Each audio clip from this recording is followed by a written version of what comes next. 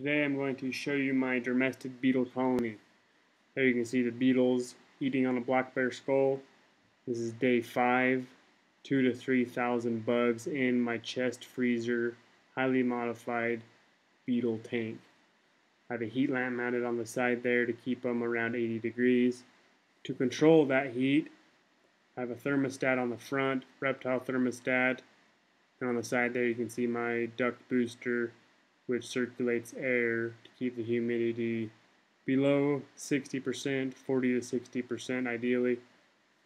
Like I said, roughly 2 to 3,000 bugs. Have knocked the skull pretty clean in three days. The head has been in there for a total of five days.